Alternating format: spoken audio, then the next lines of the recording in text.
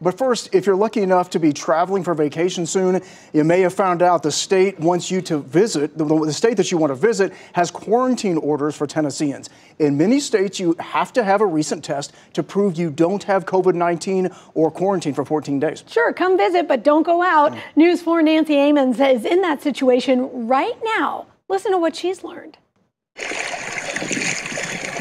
Who couldn't use a little toes in the sand time? I'm flying to New England next week.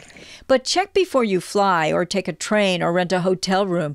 In some states, including Massachusetts, you have to prove you've had a negative COVID test result that was taken within 72 hours of your arrival. That's three days. Now, getting that test, it's complicated. You can get a free test at one of Metro's testing stations, but will you get the result in three days? There's still about a three or four day turnaround time from when a test is taken to when um, the state is notified and we're notified. I found a handful of health clinics in the mid state that offer instant testing. You get the results in 13 minutes, starting price 250 in cash.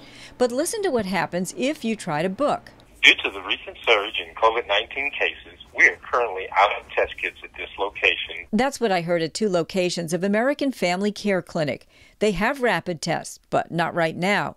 A third location said they'd get back to me in a few days to book an appointment. Massachusetts is one of many states that says take it seriously. You have to show a recent negative test or quarantine for 14 days. As we've said many times, the COVID is not taking the summer off, and we haven't either. It's effective August 1st. Ignore the rules and face a fine. Of course, the question with any quarantine is how is it going to be enforced? Nancy Amons, News 4, Nashville.